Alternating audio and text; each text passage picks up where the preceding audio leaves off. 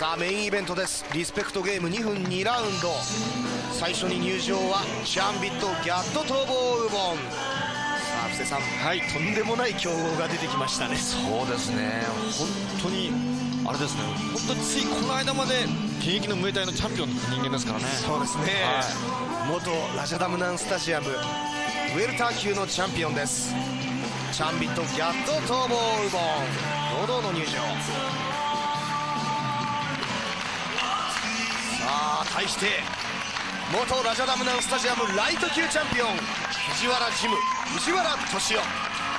さん、はい、この姿そして入場テーマ曲ですね。いや本当にね心が揺れますね。揺さぶられますね。そうですね、はい、現役時代は141戦126勝そして99 KO 凄まじい とんでもない男です。現在57歳。まさに驚かされっぱなし。リスペクトゲーム2分2ラウンドです。勝敗はありません。さあ最初にコールされるのはこちらです。ムエタイの頂点を制しましたチャンビットギャット逃亡ウボ。17センチ 74.0kg 元ラジャラムダンスタジアムライト級チャンピオン。藤原俊対人以外として初めてムエタイの頂点を制しました藤原敏夫。第1ラウンドのゴングが鳴っています。さあ布施さん、はい、場内に流れています。音楽ですね。そうですね。もうムエタイ特有の音楽ですね。もうタイのスタジアムでも本当に試合中ずっとかかってる音楽ですね。はい、はいそれに何かこう熱い血が2人ともうん再び燃えてくるものあるでしょうね。そうですね、まあ、もちろんチャーミットの方は現役であるわけですが、はい、さあ深く身を潜るようにしてパンチを当てようとしています藤原。さあ布施さん、はい、この藤原敏夫選手の左の足膝が気にはなるんですが。いや実はですね、ええ、練習中にですね人体をね、はい、切っちゃったんですよ。切った。はい痛めたというよりもう切ってしまった。切ってしまったんですよ、まあ、古傷なんですけどね。はい。ですからもう今日もがっちりとテーピングしてですね、えー、リングに上がったんですけども、はい、弱みをあんまり周囲に見せないんですよね。あそうですね、はい、やっぱりあの気持ちの意味でですね、はい、あの昔の選手と言い方失礼かもしれませんが、はい。えー、一時代前の選手はそうしたところでもそんなところは出さなかったよという話よく聞きます。いやの指揮者の方に。本当に藤原さんが現役時代はですね、はい、皆さん本当に手足の一本折れていても普通に試合やっていたみたいですからね。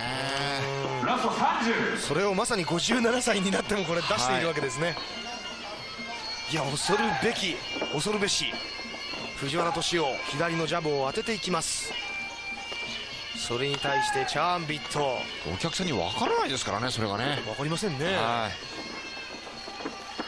左のフック今も顔面に当てていきました。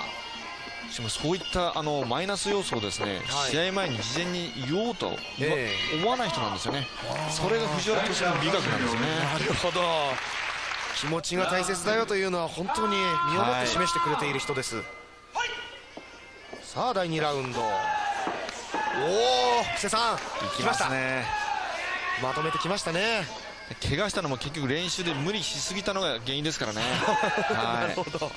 それはもう藤原ジムのあの門下生から証言が取れてます。あそうですか、はい、裏を取れたよというような、はい、あの世界チャンピオンの小林聡選手ですとか、はい、山本昌弘選手そして前田久則選手強い選手たちをたくさん輩出していますもう藤原ジム流の練習といったら、はい、激しいことこの上ないですからね。そうですね。朝起きてロードワーク出かけてましたからね。そうですか。ああ今しかしこれはさらに痛めてしまいましたか左の足。いやそれを本当に笑いでごまかそうとしてるのがすごいですね。そうですね、はい、そしてさらに前に来ますよ。右のアッパーを顎に当てています、この辺りが布施さん、はい、駆け引きなんですよね。そうですね。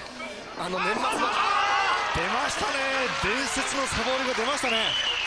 布施さん場所も同じ後楽園ホール、そうですね。この技でラジャダムナムライトライト級王座を奪取したんですよ。78年のお話になりますね。い。やその技を最後の最後残り時間30秒かというところで出してきました藤原敏夫。いや驚いた。先ほどは、うん、足へのダメージあらわにしていたんですがあーっと再びガス欠ですかね。ガス欠。はい。いやしかしそんなことはお構いなし下がりませんからね。そうですね。まあチャンビットは藤原さんから見たらですね、はい、もう息子のような年齢ですからね。そうでしょうね、はい、いやそんな中で試合は終了しています。まあ、礼儀を見せましたチャンビット。勝敗はありません。メインイベントのリスペクトゲーム2分2ラウンドが終了していますいや驚いた。布施さん、はい、もういろいろなことを気づかせてくれますね毎回この藤原さんという方は。そうですね。そしてリング上再びゲストですね。はいアルバート・クラウスですか。ええ。ー、いや本当にアルバート・クラウスとね対戦するのはチャンビット、はい、この2人が試合をするんじゃないかなんていう感じもするんですがね。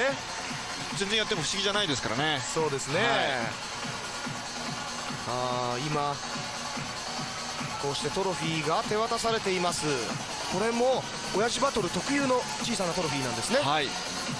鉄人28号ですか？おおそのようですね、はい、まさにキックボクシング界の鉄人と言っていいでしょうね。はい。藤原敏夫元ラジャダムナンスタジアムライト級のチャンピオン。今日この57歳になって元ムエタイのチャンピオンと25歳の格闘選手と戦うことができたこともまた私は感謝しなきゃいけないと思ってます。そしてこのワールドウェイズバトルまだまだ世の中には30代40代50代60代とみんな頑張ってる青年がおりますはい皆さんお互いに頑張っていきましょう。どうもありがとうございましたいやまだまだ若々しい姿を見せてくれた藤原会長でした苦しかった俺今日。苦しい。楽しいのはそれぐらい苦しい。いや思ったより動けなかった。70ぐらいいったつもりなんだけどね。でやっぱり思ったよりねあそこ上がったらやっぱり勝手が違うわねやっぱね。実はね2週間前にこの前立の十字靭帯を切ったんでだから2日3日後はもう歩けなかった。もう決まったことだし。どんな状況でもとりあえずね責務は外さなきゃいけないから。